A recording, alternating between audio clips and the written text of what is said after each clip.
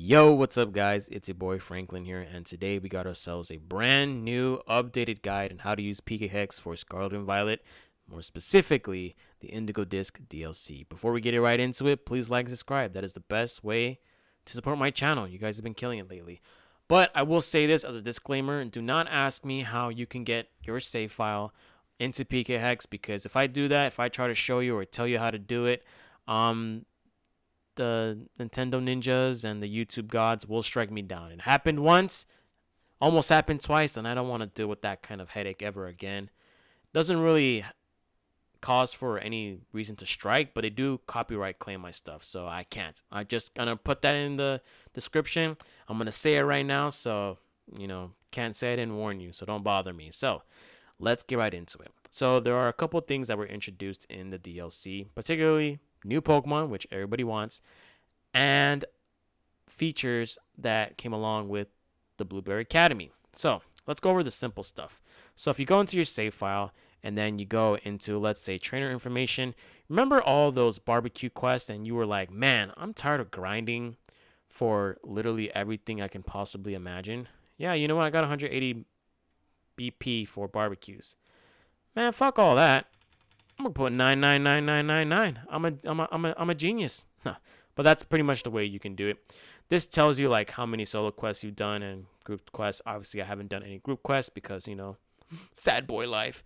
But you know, if you want to bypass all that and upgrade, you know, the Blueberry Academy um, features and cool stuff, I do recommend like doing this if you want to max out your pretty much experience for the Blueberry Academy with the Terarium, like whether it's new Pokemon, um, updated like NPC uses and you know coaches and all that stuff. So if you want to do that, that's the best way to do it. Other than that, um, I don't really see anything else here that would be justified to talk about more. So BP is right there. Um, obviously items there's more items and all that tms if you want to do all that i mean it's pretty obvious you want to go to tms you just click here and there's more tms just make sure you like change them if you guys going off of what we see in previous PKHeX guides, you guys know how to do this. There's no biggie there. Okay, so now we're going to talk about the major things, and that's, of course, new Pokemon. So, what's up with the new Pokemon? So, there are version exclusive Pokemon for the Paradox Pokemon. One of them is Raging Bolt, Another one is Gouging Fire. Those two are Scarlet exclusives.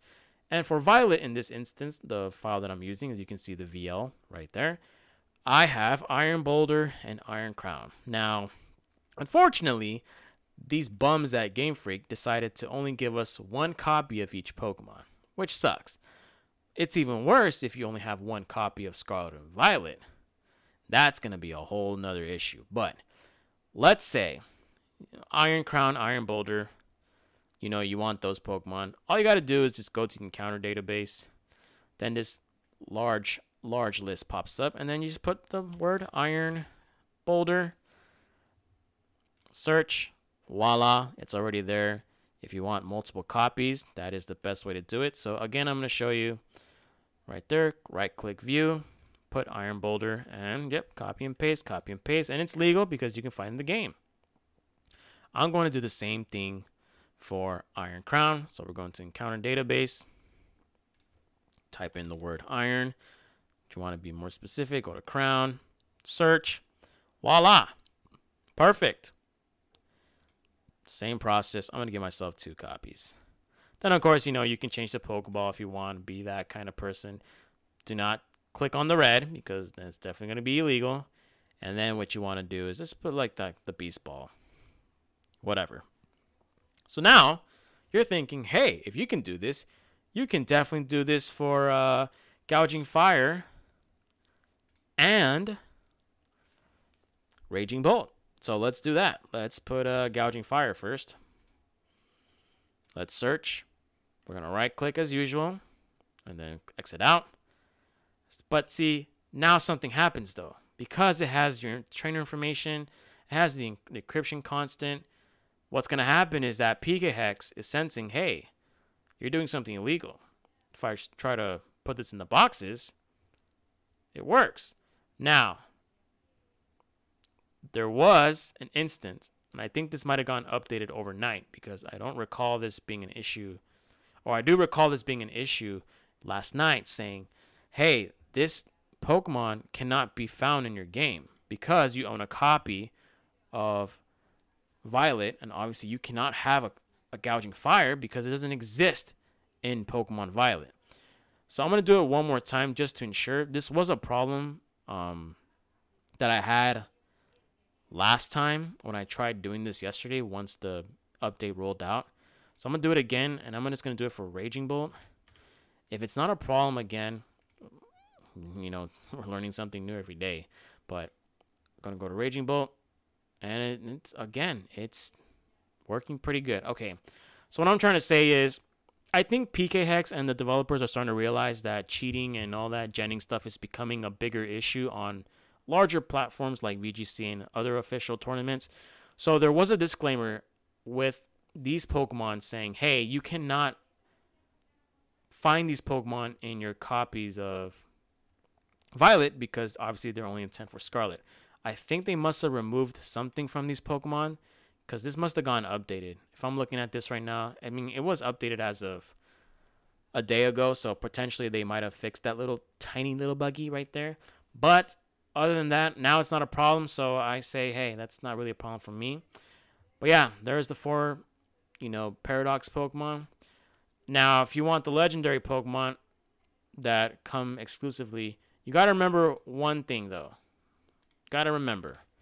Let's do, let's choose Rayquaza for example. I think Rayquaza's already in the game, right? Yeah, Rayquaza Great Crater. Okay, let's just use uh, Rayquaza for example. If you move Rayquaza, put it into your game, it's cool, right? You want a shiny Rayquaza? Well, you cannot do that because you got to remember they shiny locked the game for all these legendaries, which is so stupid. I don't know why they did that, and that's gonna be a whole nother topic as to why I'm kind of disappointed with the DLC. But uh, alert box is gonna pop out and say unable to match encounter from Origin Games. Static encounter, shiny mismatch. Yeah, yeah, yeah, yeah, yeah. All right. So now, you know, just as long as you use the Rayquaza that you got from the encounter database, the encounter database is like usually 100% accurate unless there's a specific problem with it which I have not encountered yet. Maybe with mystery gift Pokemon, perhaps, because again, you're not getting them naturally into your game. Other than that, you know, I don't see a problem. I think the issue that I'm starting to realize now is that, let's say, if you have Raging Bolt, and for some reason they'll have 20 IVs. That's kind of interesting, looking at all these Pokemon. Let's say I do 31 IV. This is the this is one of the alerts you're gonna get.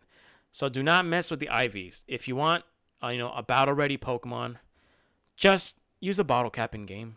Just you can literally inject yourself bottle caps, vitamins, and all that stuff. Then go into your game, pump them up to level 100. Like right here, you can pump them up to level 100, right? Or let's just, let's get rid of this error. So you can pump this up to level 100, you know. And then what I would do is like give it like max IVs on whatever stuff you want to do. And let's give this 10. Oh, no, not 10. 8. Because you got, whoa, whoa, whoa, 6. Oh, my God, Franklin, you're losing it already. And then go into your game once this is once this is injected into your game and then just bottle cap it. It's not that difficult. Don't try to mess with the natural IVs because if you do that, the game's going to say, "Hey, this is illegal." Unable to match an encounter from the origin game, aka these are the wrong IVs. And even if you still mess with it, it still says legal, so don't just don't mess with it. Just put it back in the game. Uh, starter Pokemon, same thing. Usually, what I would do with starter Pokemon, if you have a living dex in Pokemon Home, just transfer them. And if you want to tweak with them, you know, just put it here and call it a day. You don't have to do an encounter database. You don't have to. If you don't have the Pokemon, for sure you can do the encounter database.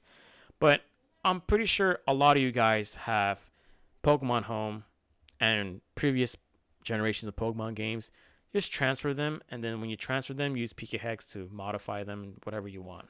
You know, avoid yourself another Urshifu VGC incident or Pokemon Worlds problem. You know, we all know what the problems are with those.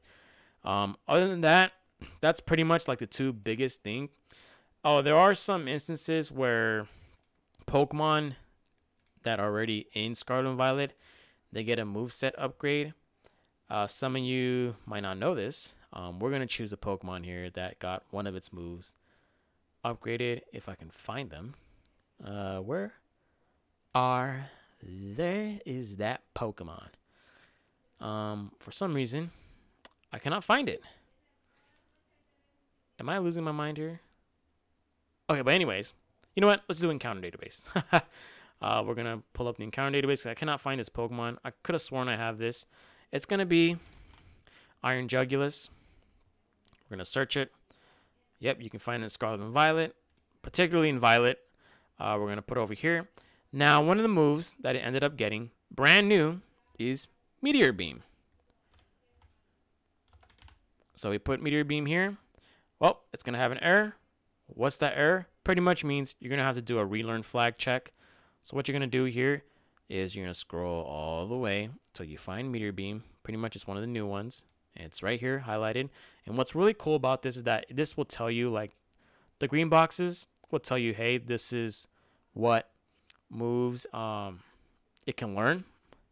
And then the highlighted I believe means this is what you're trying to find to replace. So we're gonna check that.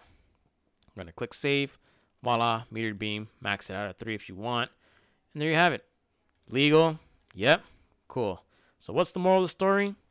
Use encounter database. Use that and then tweak the Pokemon with like vitamins and bottle caps when you load up your game once you're completed. That way you can just avoid any potential flags going off. So check that. Legal. Check that. Legal. Cool. Check that. Legal. Cool. And then you go to some Pokemon, like these Pokemon here were transferred from Legends Arceus, Bastiodon.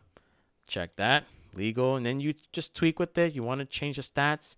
Hey, that's fine. Let's put 31. Still legal. And there's that. Anyways, that's pretty much it. Now, as for key items, there are some brand new key items.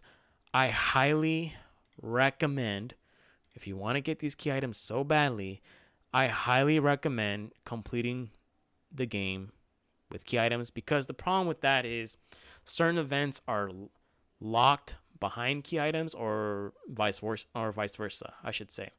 Um, some key items are locked behind events. Like if you complete the Pokedex, you get something extra. If you do a specific task, you can get more cool stuff. Um, I highly recommend just getting them naturally. Um, but honestly, if you beat the story of the Indigo Disk and you complete the Pokedex, whether it's via home transfers or a simple PKHeX kind of stuff, should be pretty quick. Literally, if you want to 100% the DLC, it'll take you probably no less than. No, actually, no, it'll take you less than three hours. I think for me personally, my adventure here took two and a half hours, but yeah, that that's pretty much it. There's not much to do in this game besides catching Pokemon, legendary Pokemon that you can keep as Scarlet and Violet. Unique stuff that might be useful for tournaments, especially in VGC where transfers become a little bit of an issue. But other than that, that's all there is. Uh, let me know what you guys think. You guys have any questions? Uh, let me know. I'll try to do my best to answer such questions, and I'll see you guys in the next video. Bye.